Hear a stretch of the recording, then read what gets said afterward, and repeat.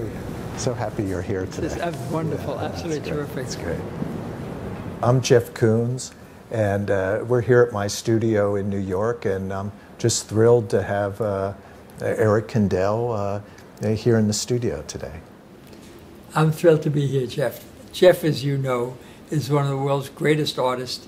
His range is extraordinary, and his creativity is so deep, and we're really looking forward to his time spent as an artist in residence uh, at the New Zuckerman Brown Brain Behavior Institute. So this is one of the early objects that brought Jeff and me together. These shining balls, which Jeff had embedded in statues, made an enormous impression on me because not only can one look at the statue and see a great work of art, but when you look at the ball, you see yourself. For me, it was a wonderful experience because um, uh, I'm Viennese and I was very much influenced by three Viennese art historians. And Alois Riegl was the first one that began to focus attention on the beholder's share. He said art history is going to die unless it becomes more scientific. The science it ought to direct itself to is psychology, and the problem it ought to focus on is the beholder's share. How the viewer responds to work of art. Absolutely. The beholder's share is the art. You know, that's where the value is.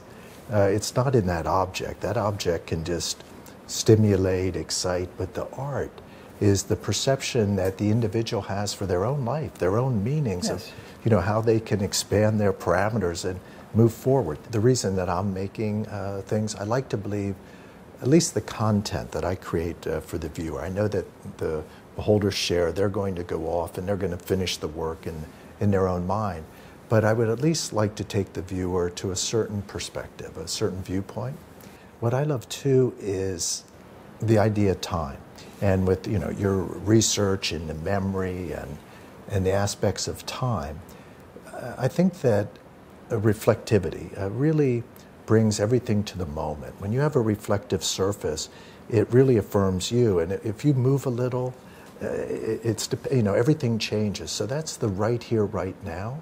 when our president, Lee Bollinger, arrived at Columbia, he looked around and he thought that brain science is, in some ways, perhaps the greatest growth area at the university.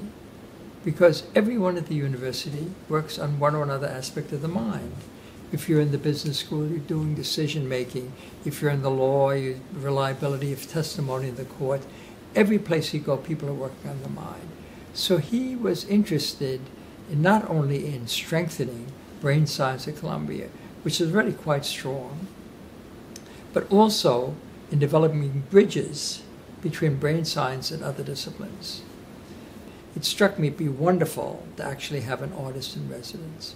And knowing you and knowing your curiosity, I thought that you would be perfect because you would teach us a great deal about the creative process. It's thrilling. I mean, the opportunity to, to learn. And Eric, I would follow you on Charlie Rose. And I always wanted to, to have a dialogue, uh, to have somebody from a psychological perspective, from a psychiatric uh, perspective, just to, uh, to look at my work, to be able to put it in some type of framework. And I think one of the, the wonderful things about art is that, you know, it, it so effortlessly connects all the human disciplines. And to be able to, uh, to be engaged in science and how we think and how to communicate. And, uh, you know, I want to be able to have my works be working on as profound a level as possible. What we plan to do is to actually have you meet individually and in small groups, people working on similar problems, and tell you what they're working on, whether they're working on memory, whether they're working on um, control of movement, working on perception. We have people working on smell, on taste, on vision. Really wonderful things. And hopefully that interaction would not only consist of seeing you in our lab, but perhaps you might invite small uh, groups, you know, occasionally into your studio and allow them to see what you have going on here. Uh, that would be just marvelous for them to see a really, you know, deeply creative person and how they go about their task. But uh, Eric, I want to be there, and when I say I want to be there, I, you know, I want to. Uh, I want to interact. I want to interact with the, uh, the different uh, scientists, the different professors.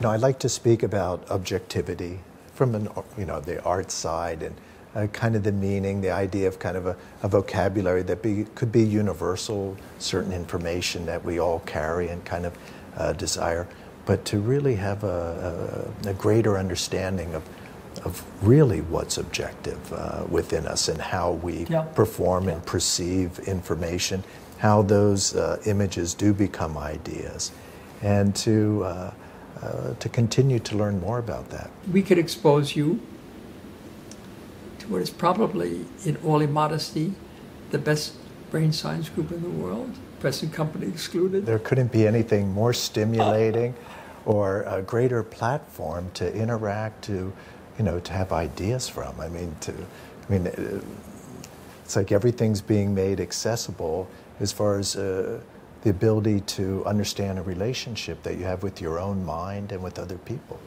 We should have a great time. Absolutely, Eric. I really I appreciate so much. Oh, I appreciate this. Great having you on board. That's great.